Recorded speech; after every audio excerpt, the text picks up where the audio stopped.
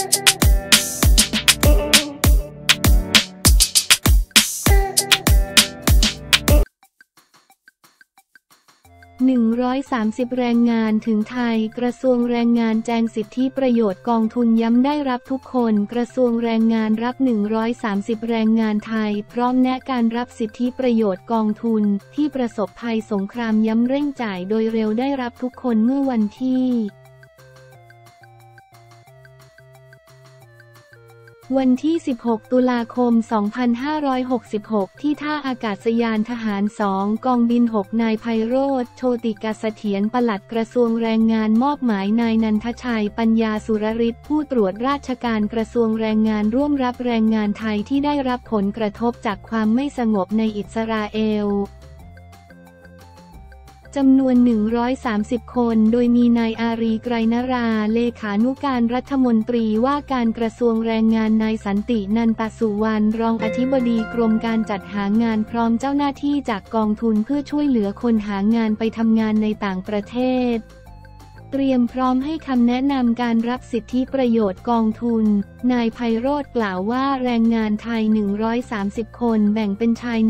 127 คนหญิง 2 คนและเด็ก 1 คนที่เดินทางกลับมาพร้อมกับเครื่องบินกองทัพอากาศ Airbus A340-500 ซึ่งกลับจากการส่งทีมข้าราชการเจ้าหน้าที่ที่ร่วมเดินทางไปปฏิบัติภารกิจอพยพแรงงานไทยที่อิสราเอล พร้อมนำเครื่องอุปโภคบริโภคจากประเทศไทยไปช่วยเหลือผู้ประสบภัย โดยแรงงานไทยกลุ่มนี้ถือเป็นแรงงานชุดที่ 4 ที่ได้แจ้งความประสงค์ไว้กับสถานทูต และเดินทางถึงท่าอากาศยานทหารสองกองบิน 6 ประเทศไทยในเวลา 6 นาฬิกา 48 นาทีของวันนี้กระทรวงแรงงาน จึงจัดเจ้าหน้าที่ตั้งโต๊ะให้คำแนะนำเรื่องการรับสิทธิประโยชน์จากกองทุนเพื่อช่วยเหลือแรงงานไทยไปทำงานต่างประเทศ เพื่อให้แรงงานไทยที่กำลังลำบากสามารถรับเงินสิทธิประโยชน์โดยเร็วที่สุดนายไพโรธ กล่าวอีกว่าแรงงานไทยที่เป็นสมาชิกกองทุนเพื่อช่วยเหลือคนหางานไปทำงานต่างประเทศ และอยู่ในความคุ้มครอง มั่นใจได้เลยว่าเบื้องต้นมีสิทธิ์รับสิทธิประโยชน์จากกองทุน กรณีประสบปัญหาต้องเดินทางกลับประเทศไทยเนื่องจากภัยสงคราม รายละ 15,000 บาทอย่างแน่นอน หรือกรณีที่มีการรับรองจากแพทย์ว่าทุพพลภาพ จะได้รับการสงเคราะห์เป็นจำนวน 30,000 บาท หรือกรณีเสียชีวิตในต่างประเทศ จะสงเคราะห์จำนวน 40,000 บาท และค่าใช้จ่ายในการจัดการศพในต่าง ประเทศเท่าที่จ่ายจริงไม่เกิน 40,000 บาทด้วยนอกจากนี้ประเทศอิสราเอลยังมีสวัสดิการตามกฎหมาย ประกันการทำงานบวกนายจ้างจ่าย กรณีบาดเจ็บ ที่การตามการรับรองของแพทย์แบ่งเป็นบาดเจ็บ 10-19%ได้รับเงินก้อนเดียวประมาณ 1 ล้าน4 4 0 0 0 0บาท บาดเจ็บเกิน 20%ได้รับเงินเดือนทุกเดือนจนกว่าจะเสียชีวิตโดยประเมินจากความสูญเสียกรณีเสียชีวิตภรรยาและบุตร ได้รับเงินเดือนทุกเดือนจนกว่าภรรยาจะแต่งงานใหม่ และบุตรอายุครบ 18 ปีบริบูรณ์ภรรยาเป็นเงิน 34,560 บาทต่อเดือน บุตรเป็นเงิน 5,760 ถึง 11,520 บาทต่อเดือน ปลัดกระทรวงแรงงานกล่าว ด้านนายสันตินันตสุวรรณรองอธิบดีกรมการจัดหางานกล่าวว่าสำหรับแรงงานไทยที่เป็นสมาชิกกองทุน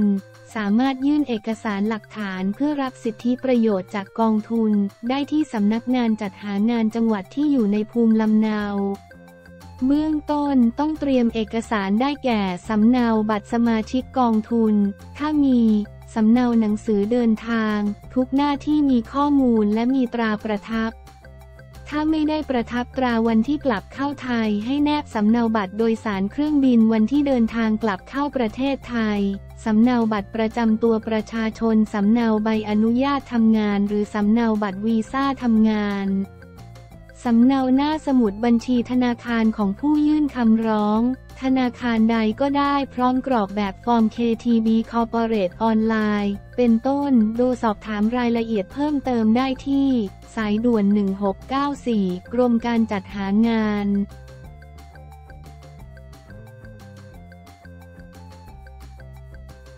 เศรษฐาฟิตยืนจีนซาอุกถก สีจิ้นผิง ร่วมเวทีอาเซียน GCC ดันการค้าเพิ่มเชื่อมั่นเศรษฐา พร้อมเดินทางเข้าร่วมการประชุมสำคัญ BRF และยืนจีนอย่างเป็นทางการรวมทั้งร่วมการประชุมอาเซียน GCC Summit ระหว่างวันที่ 16 ถึง 21 ตุลาคมเมื่อวันที่ 16 ตุลาคม 2566 นายชัยวัชรงค์โฆษกประจำสำนักนายกรัฐมนตรีเปิดเผยว่าวันนี้เวลา 13 นาฬิกา นายเศรษฐาทวีสิน นายกรัฐมนตรีและรัฐมนตรีว่าการกระทรวงคลังมีกำหนดเดินทางจากท่าอากาศยานสุวรรณภูมิ เพื่อเข้าร่วมประชุมเวทีข้อริเริ่มสายแถบและเส้นทาง Belt and Road Forum for International Cooperation BRF ครั้งที่3ตามคำเชิญของนายสีจิ้นผิง ประธานาธิบดีแห่งสาธารณรัฐประชาชนจีน และยืนสาธารณรัฐประชาชนจีนอย่างเป็นทางการ ตามคำเชิญของนายหลี่เฉียง นายกรัฐมนตรีจีนรวมถึงจะเดินทางต่อไปยังกรุงริยาดราชอาณาจักรซาอุดีอาระเบียเพื่อเข้าร่วมประชุมสุดยอดอาเซียน คณะมนตรีความร่วมมือรัฐอ่าวอาหรับ อาเซียน GCC Summit ครั้งที่หนึ่งระหว่างวันที่ 16 ถึง 21 ตุลาคม 2566 โฆษกประจำสำนักนายกรัฐมนตรีกล่าวว่า ในการเข้าร่วมการประชุม BRF ซึ่งเป็นการประชุมที่รัฐบาลจีนให้ความสำคัญนั้น จะเป็นโอกาสให้นายกรัฐมนตรีเพิ่มความเชื่อมั่นต่อนักลงทุนจีน และทั่วโลกในด้านความเชื่อมโยงทางเศรษฐกิจของไทย โครงสร้างพื้นฐานดิจิทัล และการพัฒนาอย่างยั่งยืน การเดินทางครั้งนี้นายกรัฐมนตรีมีกำหนดพบหารือกับผู้นำและบุคคลสำคัญของจีน ได้แก่นายสีจิ้นผิงประธานาธิบดีจีน นายหลี่เฉียงนายกรัฐมนตรีจีน และนายเจ้าเล่อจี้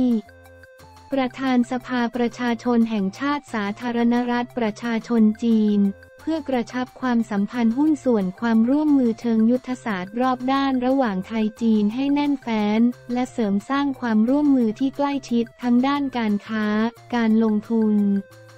ความเชื่อมโยงและความสัมพันธ์ระดับประชาชนโฆษกรัฐบาลกล่าวถึงการเข้าร่วมการประชุมสุดยอดอาเซียน คณะมนตรีความร่วมมือรัฐอ่าวอาหรับ อาเซียน GCC Summit ครั้งที่หนึ่งณกรุงริยาดราชอาณาจักรซาอุดีอาระเบียว่า ถือเป็นครั้งแรกในประวัติศาสตร์ความสัมพันธ์อาเซียนและ GCC ซึ่งมีสมาชิกได้แก่ซาอุดีอาระเบีย สหรัฐอาหรับ เอมิเรตส์บาห์เรน กาตาร์คูเวต และโอมานจะได้หารือถึงแนวทางส่งเสริมความร่วมมืออย่างเป็นรูปธรรมทั้งเศรษฐกิจการท่องเที่ยวและความสัมพันธ์ระหว่างประชาชนของทั้งสองภูมิภาค ทั้งนี้นายกรัฐมนตรีจะเน้นผลักดันความร่วมมืออาเซียน GCC และไทย GCC ที่สำคัญได้แก่เรื่องการค้าการลงทุน การพัฒนาที่ยั่งยืนและวาระสีเขียว รวมทั้งกระชับความสัมพันธ์ระหว่างประชาชนของทั้งสองภูมิภาค